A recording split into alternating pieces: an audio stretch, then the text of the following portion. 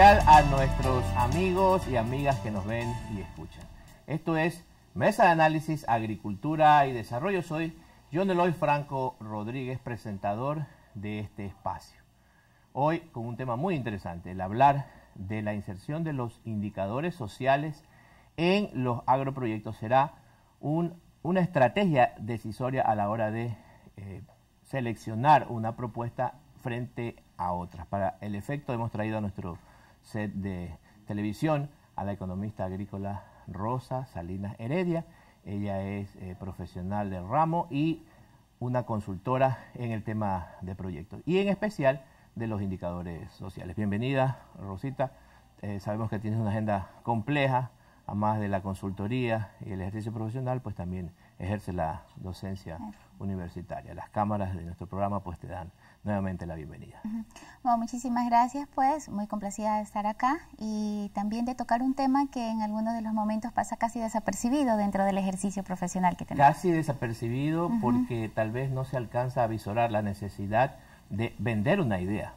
El, hacer un proyecto y luego buscar eh, eh, quien financie es también parte de vender y en tanto y en cuanto tenga más atributos para apoyar esa, esa idea, esa propuesta, será eh, obviamente pues mejor, mejor decidida. Y en el caso de los indicadores sociales, ¿qué sería, Rosa Salinas, los indicadores sociales? Bien, los indicadores sociales como tales, empezando, pues son indicadores, por lo tanto son unidades de medida estadística esencialmente que resumen, en este caso, la situación de una sociedad o de una comunidad en su conjunto. Bien. Estos indicadores nos permiten conocer los más generales, y más conocidos además ya en el medio, cómo estamos en materia, por ejemplo, de salud, cómo estamos en cuanto al acceso a la educación, empleo, desempleo. De manera general, en el tema socioeconómico han sido los indicadores más manejados.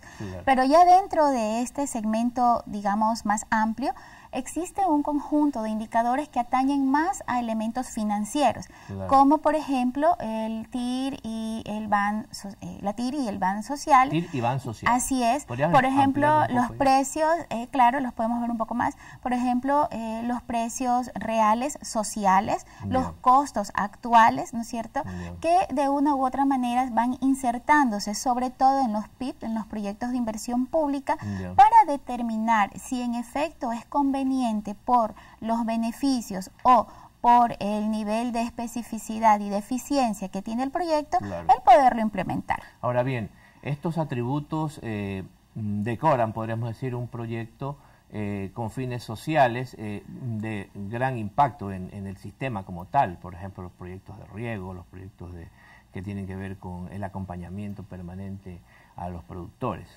Bueno, estos proyectos, estos indicadores, perdón, podrían insertarse también en proyectos que pretenden el establecimiento de un ejercicio lógico, coordinado, eh, coherente a nivel empresarial de responsabilidad social empresarial ah, y de responsabilidad social organizativa también. Quiere decir que los indicadores sociales ahora son transversales también, inclusive aquellas propuestas que sean de inversión, pero que por efecto del entorno que estamos eh, viviendo, necesariamente tienen que evidenciar esa, como tú lo decías, responsabilidad social empresarial. Sí, por supuesto. Insisto en que en la lógica inclusive de los estados y de la institucionalidad pública, en algún momento no se han considerado o en algunos criterios económicos no se consideran los indicadores sociales. Pero estos sí pueden eh, insertarse también inclusive en proyectos privados, ¿no?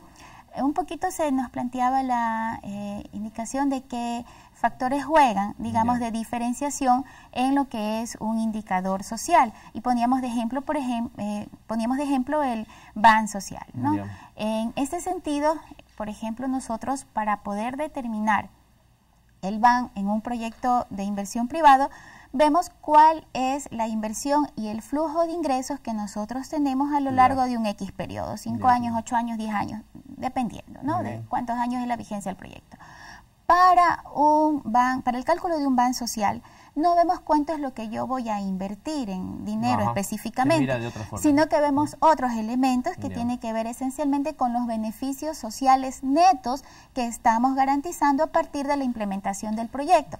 Y estos beneficios sociales netos en algunos momentos son difíciles de cuantificar. Sin embargo, con mucho detenimiento, con base científica y con profundidad en el estudio de terreno, uno puede determinarlos. Concretamente, por ejemplo, podemos determinar como beneficio social neto el, tiempo. las plazas laborales. Por ejemplo, las plazas laborales y cuánto eso significa frente a la posibilidad de que, tengo yo como Estado de dinamizar más la economía de un determinado sector. Por ejemplo, a los flujos comerciales. Sí, pero también un poco más podríamos manejarlo en el sentido de cuánto es el beneficio que estoy generando y en qué esa persona utiliza el beneficio, que se denomina liberalización de recursos. La distribución entonces del ingreso. claro, este por ejemplo, en concreto, cuando voy a medir el precio del transporte, del tiempo de transporte, ¿no es cierto? El valor, el BTT, el valor del el tiempo de transporte.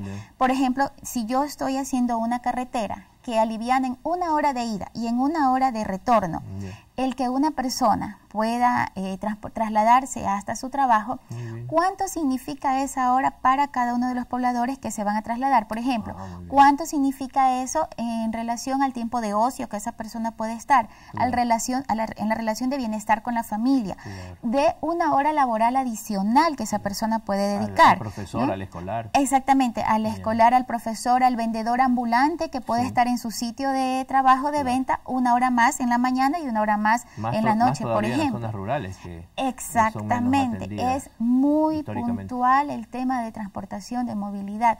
En la medición del BTT, del valor del tiempo, ¿no es cierto?, de traslado, es muy puntual en cuanto a las zonas rurales. Esto sumado a otros elementos, por ejemplo, en cuanto a la implementación de un subcentro de salud en un lugar determinado, en nuestra zona rural. Nosotros debemos por lógica general, garantizar las mejores condiciones para que nuestro sector rural esté atendido y las personas no migren, más bien se mantengan, ¿no es cierto?, en los espacios productivos. Pero nosotros usualmente si aplicamos un ban eh, privado, en donde voy a ver cuánto aporto de inversión como Estado, resulta que evidentemente si esa es una consulta que no va a cobrarse, ¿no es cierto?, bajo el principio de eh, salud gratuita, voy a encontrar que no voy a tener un ban positivo, evidentemente, porque no voy a tener retorno. Sin embargo, ¿Qué ocurre? Vamos a suponer que son 100 familias, un promedio de 500 personas, y que esas personas van a tener allí un profesional que va a atender salud preventiva y va a dar una atención inmediata. Supongamos que esa comunidad está a dos horas nada más de la ciudad o del punto de salud más cercano.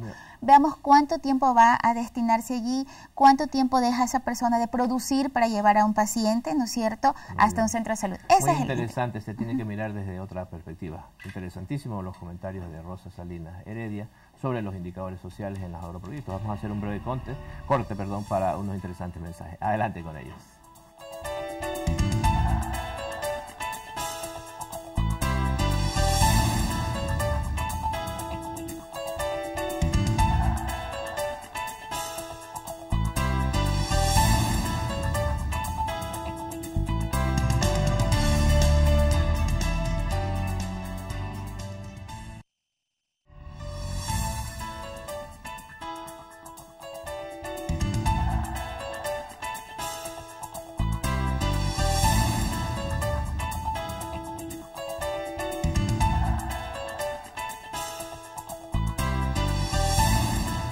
Gracias por su tiempo de espera. Seguimos con más de Mesa de Análisis, Agricultura y Desarrollo, conversando sobre los indicadores sociales en los agroproyectos con la economista agrícola Rosa Salinas Heredia.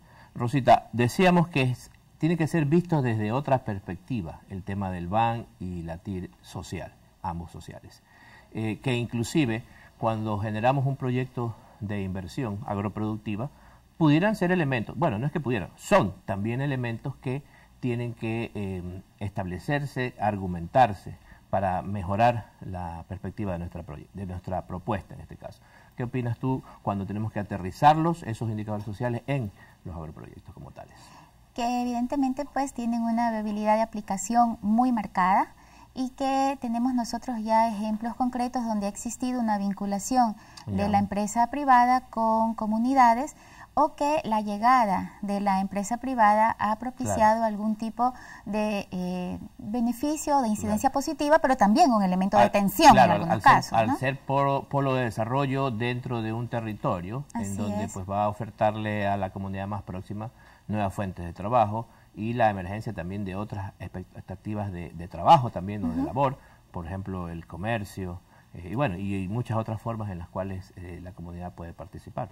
Claro, por ejemplo, eh, supongamos una alianza estratégica entre una empresa privada y una comuna de la península de Santa Elena. Bien, esta empresa privada tiene dos líneas de producción. La una de producción en la que, por las características de la producción, amerita la contratación de varones por su fuerza física, ¿no es cierto?, por su nivel de experticia, etcétera. Bien.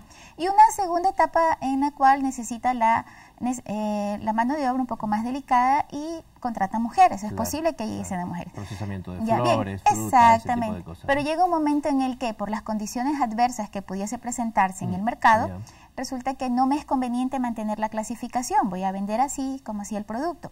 Eso implica de manera inmediata dejar en el desempleo a una X cantidad de mujeres. Claro, también. Y en ese sentido hay una repercusión inmediata en el flujo económico, pero además en otros indicadores, como por ejemplo la dependencia y la sumisión que puede tener la mujer por esa dependencia económica con relación a un jefe de familia. Eh, en algún momento terminado hemos conversado con empresas eh, eh, transnacionales inclusive, no citaremos nombres, pero eh, de, de, hecho, por ejemplo, ellos compran un determinado producto, materia prima que es, es eh, la base fundamental de sus productos estrella. Sin embargo, a las personas a las cuales les compran esa materia prima, ellos les enseñan a hacer otras cosas, o sea, a diversificar un poco las posibilidades de ingresos, como por ejemplo el que hagan huertos o que incursionen en algunos otros tipos de, de, manufacturas más allá a partir de otras materias primas. Un poco eh, es lo que estás mencionando, o sea, es parte de su responsabilidad social que se pone de manifiesto en tanto y en cuanto mejoro, transformo las realidades de, de mi entorno. Claro, ¿y qué capacidad tengo yo para poder eh, indicar o referir justamente que he aportado de esa manera? No es solamente el que la familia tenga 30 dólares a la semana de ingreso adicional, no, es que además existe una mejor salud mental de algunos de los integrantes de la familia, que existe una mejor predisposición al trabajo, que existe menos tensión y conflicto social en esa comunidad, lo que se revierte para mí como empresa en que, por ejemplo, puedo reducir un puesto de guardia de seguridad por ejemplo, de manera inmediata. ¿no? Porque ha mejorado las condiciones Así de la zona. es. Y, ahí también hay que diferenciar algunas, o tener claras algunas miradas que se miden aún ante el mismo hecho de una manera distinta. Por ejemplo, si yo voy a hacer un proyecto que netamente implique un impacto social, por ejemplo, el subcentro de salud al que nos referíamos, o yo voy a hacer un proyecto privado en donde a mí me interesa el crecimiento de la población porque se supondría que voy a tener mayor capacidad de colocación de mi producto. En cambio, eso sería positivo. En cambio, cuando yo tengo un proyecto de inversión en el cual hoy tengo 100 familias y hago un subcentro para las 100 familias, mañana no me alcanza ese subcentro y más bien puede ser una inversión negativa, contraproducente, aquella que estoy realizando. Entonces ahí hay que tener las dos miradas importantes. Y el hecho también de que eh, se comparta desde la perspectiva de la empresa privada como tal, hacia el entorno en tanto y en cuanto yo ayude a, dinamizar otras formas de, economía, el tema de la economía popular y solidaria que está de manifiesto, que justamente vamos a verlo cómo lo podemos aprovechar ya en el, último bloque. O sea, el que decías 30 dólares adicionales que tenga la familia de ingreso me ahorra de eh, mi ingreso principal, que es el de trabajar, por ejemplo, en la, en la empresa, eh, a efectos de que me aligere un poco la, la carga tengo pues para pagar ya los servicios eh, básicos de O tengo para llevar al niño ese día, ¿no es cierto?, al parque y poderle comprar al vendedor de los helados un helado y todo adicional. Eso tributa a, a, un mejor vivir, a un sentirse eh, realizado, sentirse, sentirse de buen ánimo, como se dice. Estoy transportándome hacia el parque, llevando al niño para que éste sienta satisfacción de estar compartiendo con otros niños. Estoy comprando el helado al compañero que vende allí, ¿no es cierto? Los heladitos.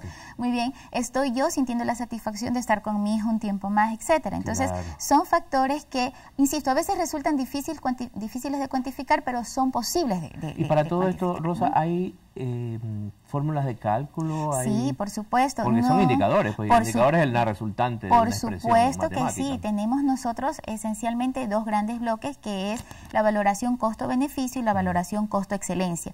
y dentro de cada uno de estos bloques, en el primero, por ejemplo, tenemos los proyectos un poco más referentes a infraestructura de manera directa y a vialidad, ¿no es cierto? En donde está el costo-beneficio muy puntual, cuánto me cuesta o evito gastar en función de la movilización de una persona, una familia, etcétera. Y en cambio, en el de la eficiencia es en cuanto yo puedo garantizar la consulta médica, la consulta veterinaria, la atención del ingeniero a las fincas, ¿no es cierto? Simplemente allí un punto de atención para ese sector de la comunidad y este, por ejemplo, me significa como Estado 10 mm, dólares la consulta, mientras que ahí hay un privado que la está entregando por 5 dólares. Ah. Entonces, realmente en el nivel de eficiencia, yo estoy siendo eficiente o es mejor que de pronto tenga un incentivo directo ya y una alianza estratégica con ese privado que está brindando el servicio y la amplíe, ¿no es cierto?, en, cuanto al rango de cobertura. Entonces, tengo eso y todo esto está eh, calculado en base a las fórmulas, en algunos casos similares, con elementos que cambian, pero la fórmula de aplicación es la misma en cuanto a todos los indicadores, ¿no? Absolutamente todos los indicadores. No puede hablarse de manera empírica tiene que partirse del hecho de que un indicador es una medida estadística. Podemos hablar de elementos que son pues cualitativos o cuantitativos, pero evidentemente vamos a darle una, un, nivel de em, representación estadística. Muy bien, muy interesante. Estamos conversando con la economista agrícola Rosa Salinas sobre los indicadores sociales en los agroproyectos. Vamos a hacer un siguiente corte y volvemos con el último bloque de nuestro programa. Sigan en nuestra sintonía.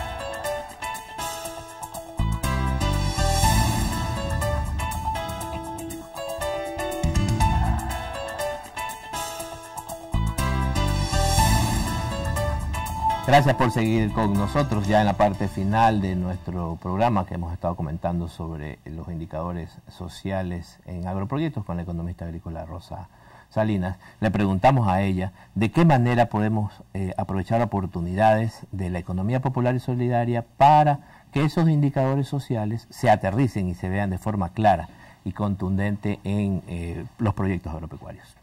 Bien, muchas gracias porque evidentemente la pregunta nos fue planteada ya hace más o menos unos 12 años cuando ah, estábamos peleando eh, la inclusión del conocido anteriormente como tercer sector, este sector que implica una dinamización, una unidad económica que dinamiza la economía, pero que no es necesariamente una unidad empresarial económica, ¿no?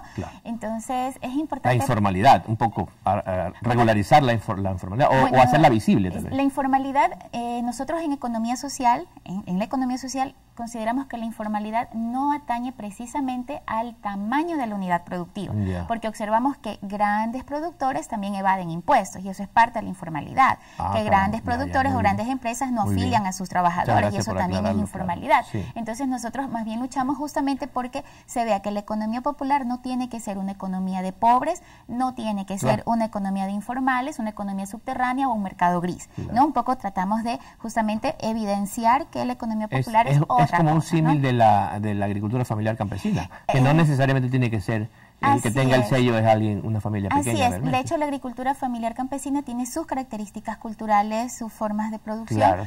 Y eh, podríamos vincularla, así es, a la economía popular en cuanto nos tocaría encasillar en el espacio, digamos, de los sectores de la economía. ¿no? Más allá de eso, creo que tiene sus particularidades. Bien, entonces, creo que podríamos referir concretamente, en honor al tiempo, tres elementos en los cuales podríamos vincular estos indicadores, pero además aprovechar los espacios de la integración solidaria de la economía popular. Primero, pues nosotros reconocemos como unidades productivas de la economía eh, popular y solidaria en la parte agrícola las asociaciones de productores, las cooperativas esencialmente, ¿no es cierto? Y los gremios productivos. Bien. Como segundo eh, elemento, nosotros tendríamos tres espacios en los cuales podríamos integrarnos con efectividad. La primera es la compra asociativa, todos los elementos que sirven para nuestra producción, pero además para nuestro bienestar, pueden estar vinculados de manera eh, asociativa, ¿no es cierto?, con un mejor precio de adquisición, con un valor más real. Eh, solo por poner un ejemplo, en España, el sector, bueno, en Europa en general, el sector cooperativo está muy desarrollado, pero en España, para poner un ejemplo, cooperativas de segundo y tercer grado se sientan a conversar con Monsanto, con Mafre, con grandes telefónicas. Prácticamente de igual a igual. Y exactamente, porque evidentemente dentro de la región en la que se encuentran es un mercado nada despreciable y logran obtener beneficios extremadamente interesantes. Entonces, compra asociativa, primer elemento. Segundo elemento, venta asociativa. Ah, el que yo le toque la puerta a una gran cadena de manera individual, vengo aquí, Rosa Salinas, y le ofrezco mis galletas, le ofrezco mis harinas, ¿no, verdad? Es un elemento complejo porque además la capacidad de provisión es compleja que la pueda manejar solo yo. Claro. En cambio, si tenemos la posibilidad de apalancar nuestra producción individual en una eh, eh, producción colectiva, ¿no? Evidentemente, pues voy a lograr mejores resultados en ese es, Es importante entonces eh, negociamos en bloque y, tanto para comprar como para Exactamente. y un tercer elemento clave, una inversión colectiva mm. que a todos nos permita acceder a beneficios a un costo menor. Si soy una, una mm. Asociación de productores de arroz, y esto ya ha pasado, es una de las que más evolucionados los, los productores de arroz están, entonces como organización compro una cosechadora. Bien, y en que lugar nos todos. que nos sirve a todos. Y entonces cuando esta y además planifico mi producción porque recordemos que vendo en bloque, ¿no es cierto?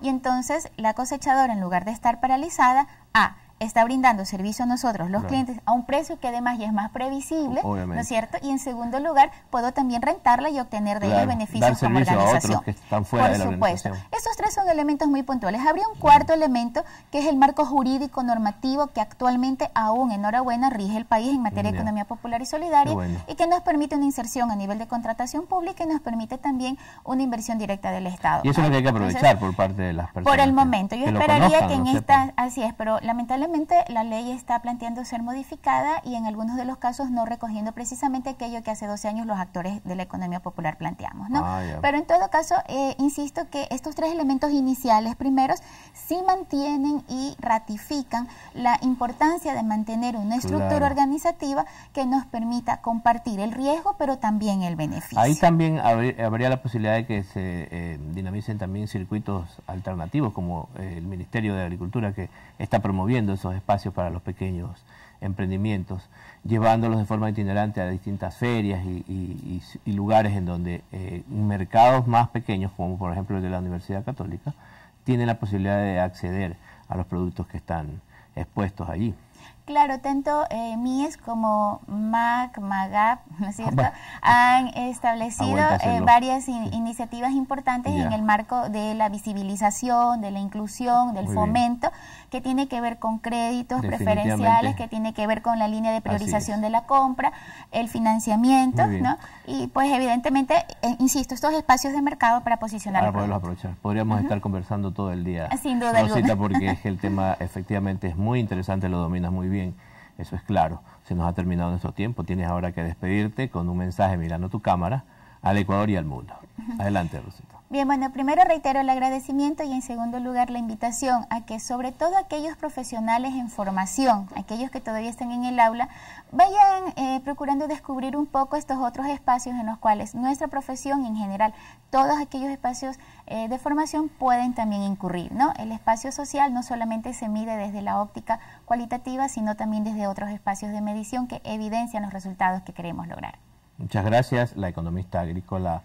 Rosa Salinas Heredia, por estos interesantes eh, criterios que nos ha eh, expuesto este día. Eh, no se olviden de seguirnos escribiendo a nuestros correos electrónicos, en nuestras redes sociales también dándonos me gusta y llamando pues a nuestros teléfonos. Soy John Eloy Franco Rodríguez y esto ha sido Mesa de Análisis, Agricultura y Desarrollo. Que estén muy bien.